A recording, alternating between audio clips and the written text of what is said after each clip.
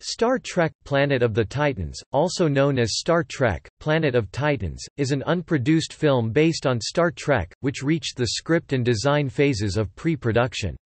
Following the success of Star Trek in broadcast syndication during the early 1970s and the popularity of the series at science fiction conventions, Paramount Studios made several attempts to produce a feature film based upon the series. In 1975, Star Trek – The God Thing was proposed by franchise creator Gene Roddenberry but was not picked up by the studio. The following year, pre-production began again on a film with a treatment and subsequent script called Planet of the Titans, produced by British writing team Chris Bryant and Alan Scott, with the intention of keeping costs down by filming in the United Kingdom. There were difficulties in ensuring that both William Shatner and Leonard Nimoy would sign to the film, as Shatner's deal with Paramount had expired, and Nimoy was concerned with unauthorized use of his image on merchandising. Philip Kaufman was signed to direct, after several other filmmakers were approached. The plot would have seen the crew investigating the homeworld of the mythical Titans, and in escaping through a black hole are hurled into the prehistoric past where they teach early man how to make fire. After their script was rejected, Bryant and Scott quit, and Kaufman created a new script treatment, but it too was rejected, and the project was killed on May 8, 1977, some two weeks before the release of Star Wars. Various reasons have been cited for the cancellation, including regime change at Paramount, and that executives thought they had missed their window due to Star Wars' imminent release, believing science fiction fans would not pay to see two such films. Paramount immediately changed course and launched a plan to take Star Trek back to television via a new TV network as Star Trek – Phase 2.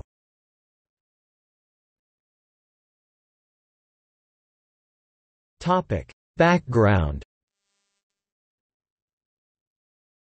Following the cancellation of Star Trek, the original series on NBC in 1969, there were several attempts, influenced by the success of the series in broadcast syndication and from the attendance of fans at conventions, to transfer the series into a film. By March 1972, Roddenberry said that there was interest in a Star Trek feature film and that there was even potential for returning the series to NBC. In May 1975, Roddenberry entered into a development deal with Paramount Pictures to develop a film based on Star Trek. Principal photography was intended to start on July 15, 1976, but was later pushed back to 1977. It was given the initial title of Star Trek, The God Thing and had a budget of $5 million. Roddenberry's plot would have reunited the crew of the Enterprise and sent to face God, who was threatening Earth. Paramount Studios chief executive officer Barry Diller ended the development deal in August 1975, although Roddenberry was allowed to keep his office at the studio. Roddenberry pursued the project and invited several others to submit story and script ideas, including his personal assistant Jon Povill, as well as writers Robert Silverberg, John D. F. Black and Harlan Ellison.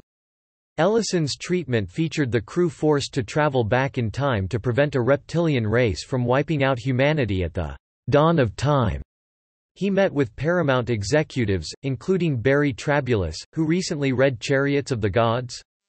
1968 by Eric von Daniken and wanted the Maya civilization to be featured in the film. Ellison and Trabulus disagreed, and Ellison left the meeting refusing to have anything more to do with the film. George Lucas later inquired about whether or not Star Trek was available for purchase in order to be turned into a film, and went on to create Star Wars instead.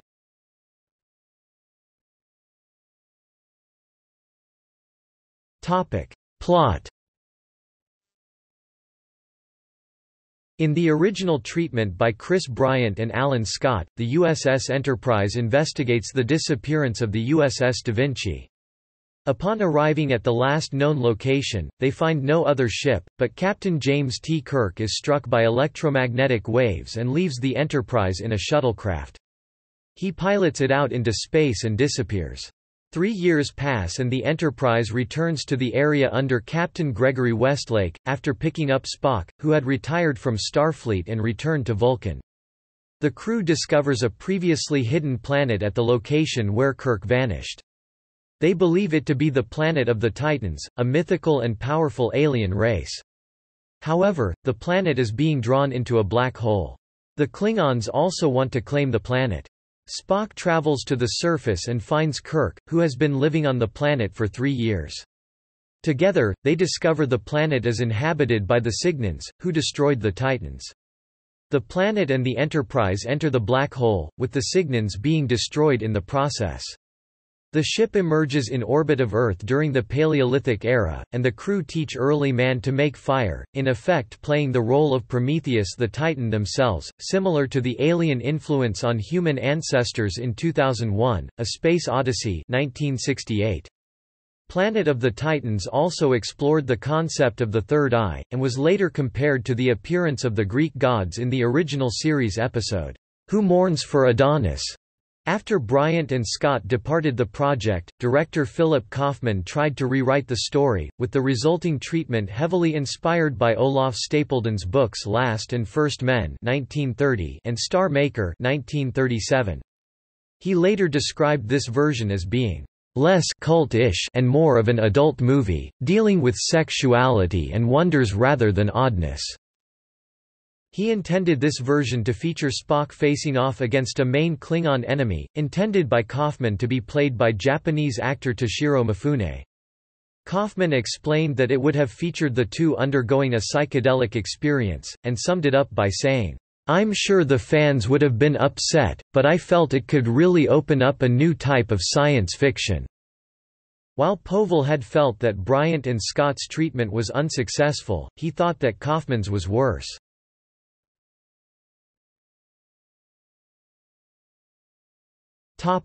Pre-production Planet of the Titans was expected to be filmed in the United Kingdom in order to keep production costs low. In July 1976, Jerry Isenberg was assigned to be executive producer of the new film, and the British writing team of Bryant and Scott were hired in September. The duo had no science fiction writing experience, but had written the films Don't Look Now 1973 and Joseph Andrews 1977. Roddenberry defended the hiring of the pair, saying, I'm very excited about some of the ideas they've come up with. The concept that only a science fiction writer can write science fiction motion pictures is ridiculous. Look at me. I came up with Star Trek, and one was a dramatic writer. I wrote for TV. Bryant believed he earned the screenwriting assignment because his view of Kirk resembled what Roddenberry modeled him on. One of Horatio Nelson's captains in the South Pacific, six months away from home and three months away by communication. Their 20-page treatment was submitted the following month. It was entitled Planet of the Titans and was received favorably by Diller and fellow executive Michael Eisner. The writers were told by Paramount to proceed to script on October 6.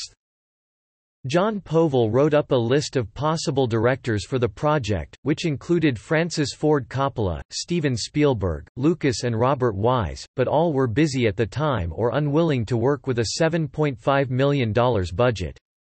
Although his agent did not expect him to do it, Philip Kaufman signed on to direct. Roddenberry introduced him to the series by showing him ten episodes, including those he felt were the most representative and popular of the series. The City on the Edge of Forever, The Devil in the Dark, Amok Time, Journey to Babel, Shore Leave, The Trouble with Tribbles, The Enemy Within, The Corbomite Maneuver, this Side of Paradise, and A Piece of the Action. On signing, Kaufman was pleased to direct Star Trek. He discussed it with Lucas, and said that he felt he could go through the roof. NASA employee Jesko von Puttkamer was hired as an advisor on the film. There were issues with casting the film. Paramount Studios' deal with William Shatner had ended and so the first draft of the film did not feature Captain Kirk.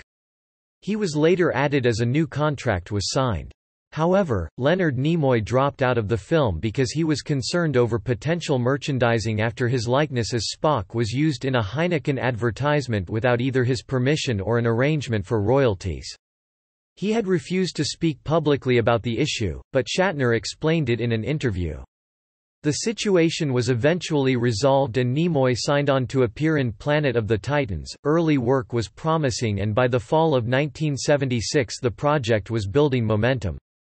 Fans organized a mail campaign that flooded the White House with 400,000 letters, influencing President Gerald Ford to rechristen the Space Shuttle Constitution to Enterprise. Bryant and Scott's proposal became the first accepted by the studio in October. Roddenberry immediately stopped work on other projects to refocus on Star Trek, and the screenwriters and producers were swamped with grateful fan mail. By the start of 1977, the project's official title was changed to Star Trek the Motion Picture, a title reapplied to the eventually released 1979 film. The elation was short-lived, the first draft of the completed script was not finished until March 1, 1977, and pressure was mounting for Paramount to either begin production or cut its losses and cancel the project. Producer Jerry Isenberg began scouting filming locations and hired designers and illustrators to complement the script.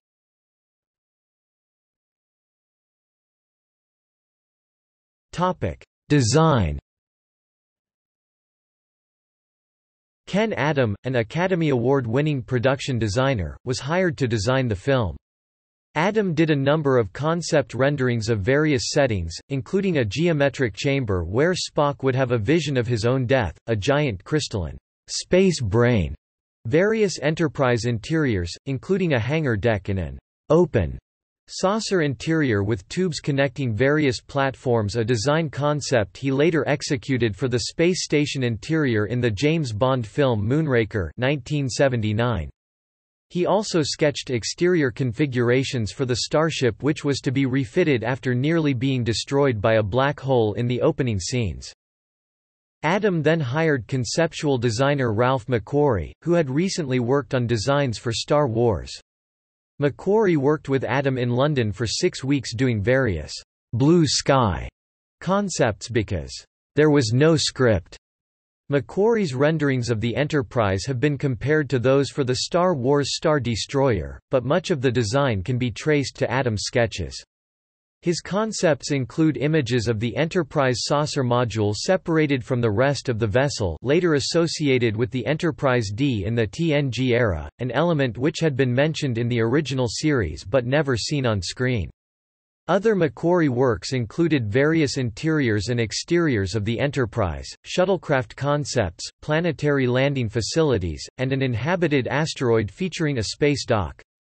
McQuarrie later went on to work on designs for Star Trek IV, The Voyage Home. Crude study models of at least two of the Enterprise concepts were constructed, and these were utilized as background elements in shots of later productions, including in the space dock in Star Trek III, The Search for Spock, as a shipwreck in the Star Trek, The Next Generation episode, The Best of Both Worlds, and as part of a reserve fleet in the Next Generation episode, Unification.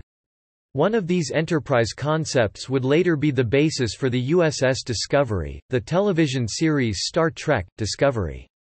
Show-runner Bryan Fuller confirmed that it was the basis of the new ship initially, but added that it was, "...to a point that we can't legally comment on it until our legal team figures out some things."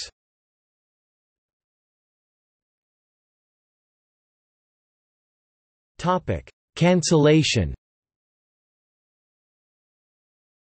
Bryant and Scott turned in their script on March 1, 1977. It was rejected by Paramount and they departed the project in April 1977 because they found that Kaufman's and Roddenberry's ideas for the film repeatedly conflicted. They later said they were disappointed as they felt it had been absolutely a go picture, and that it was just one of those deals that happens at studios from time to time that fell down the middle.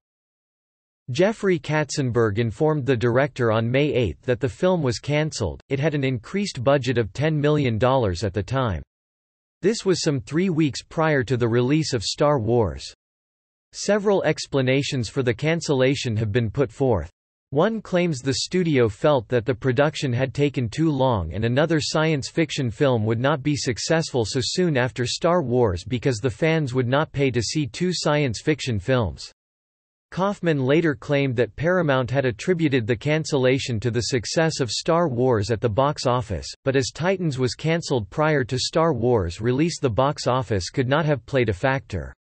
Diller stated that it was cancelled because both treatments felt forced and different from the episodes of the original series.